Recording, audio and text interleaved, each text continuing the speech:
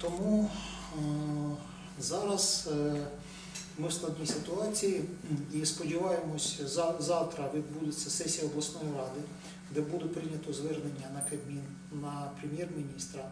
І ми сподіваємось, що нас почують і все ж таки е, дадуть змогу підприємству заключити договір по 7.42.